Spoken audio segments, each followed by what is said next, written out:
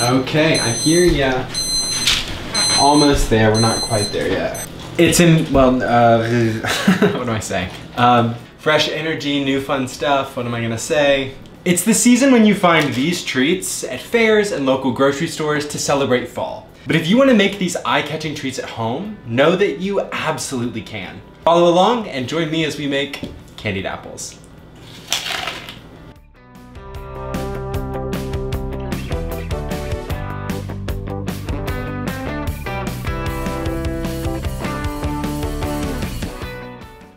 The first step to making candy apples is to put your skewers in your apples. The skewers are obviously what you're gonna eat the apple off of, but they're also gonna give you leverage as you're coating the apple in the candy mixture.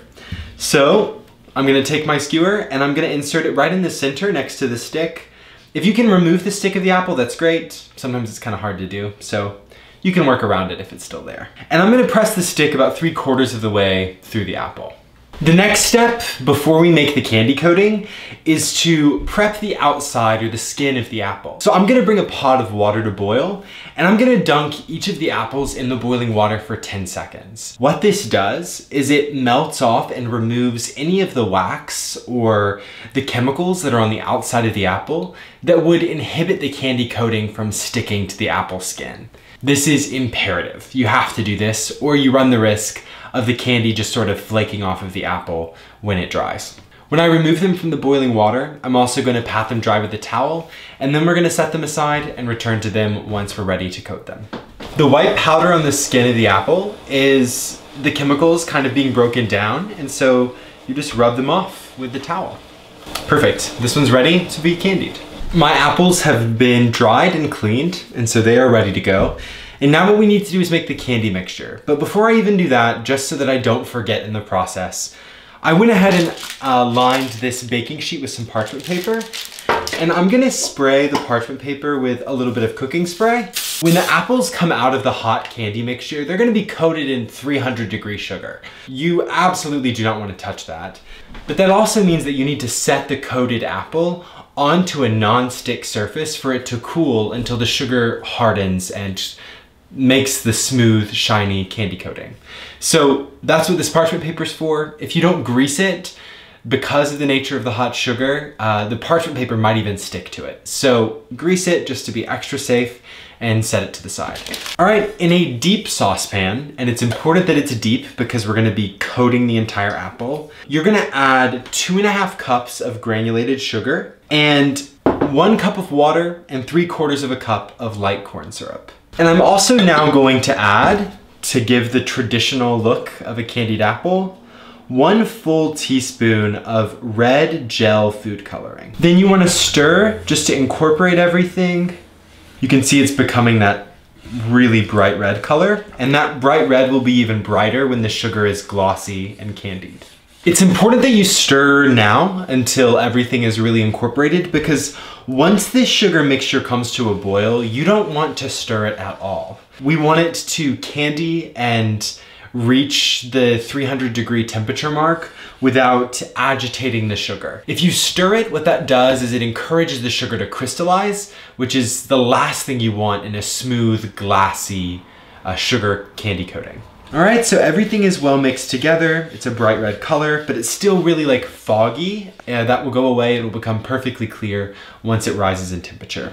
All right, we're gonna set this over medium heat, medium high heat, and bring it to a boil. And I'm just gonna pop my candy thermometer in there and pull it off when it reaches 300 degrees, which is hard crack phase. Hard crack phase just means that when the sugar is done cooling, it will break smoothly and it'll be kind of like crystal clear, uh, which is what makes a candy apple look so beautiful. So I'm gonna pop this in, put it over the heat, and let it boil until it reaches that temperature. Uh, it should take about 20 to 25 minutes, but keep your eye on it. You never want to uh, overburn the sugar. As you might be able to hear, my candy is bubbling away, but I thought I might explain why it takes so long for sugar to reach hard crack phase. And that's because of all the water that we incorporated into the sugar. If sugar heats up too quickly and reaches a certain point, it turns into caramel, which is what we're avoiding here. But by adding all of this water and heating it over medium-high heat, we're encouraging the water to slowly evaporate out of the mixture. So what we're doing is we're allowing the water to slowly come out of the pot and allowing the sugar to slowly increase in temperature so we can get it to the precise correct temperature to make that perfect glassy smooth look at 300 degrees instead of running the risk of just heating the sugar in corn syrup which would most likely overheat, brown, and turn into a caramel. So this is the perfect way to make it look glossy and clear. However, it does take about 20 to 25 minutes because the water takes a while to evaporate off. But in the end, I promise it's worth it. My sugar mixture is at 273 degrees, which means it's getting close to being done. Uh, so I'm gonna make sure before my sugar is done that everything is ready because this process kind of has to move fast. This process has to be quick because the candy will harden. So I've got a towel on my work surface that I can move the pot to. I have all of my dried apples with their sticks right next to me. And I have the parchment paper lined baking sheet that I've already greased. So everything's ready to go. What I'm gonna do when I take it off the heat is I'm gonna tilt the pan so that all of the candy is pooled into one corner of the pot. I'm going to submerge one of the apples almost all of the way and twirl it so that the candy sticks to the apple. Gonna lift it up and let all of that excess candy drip off. Okay, and then I'm just gonna transfer it to my greased parchment paper and repeat with the rest of the apples. All right. How's that for a candied apple? These apples need to cool off and the candy needs to harden, which will take about 15 minutes. Um, and then we'll be ready to, to try one. All right, here we go. Mm. This is like just a wonderful fall childhood nostalgic moment for me. I mean, the beauty of this is that you're you're really just tasting the apple.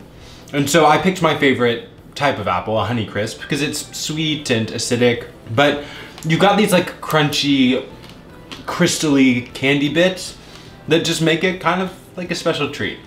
And I don't know about you, but I think that this like color is just so eye-catching. It makes me wanna keep eating it, you know?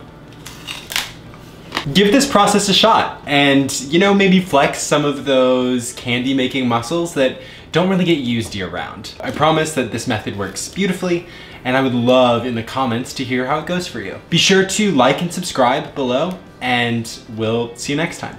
Bye. Man, add this to the list of things I never thought I would do for a living. Eating candied apples on camera.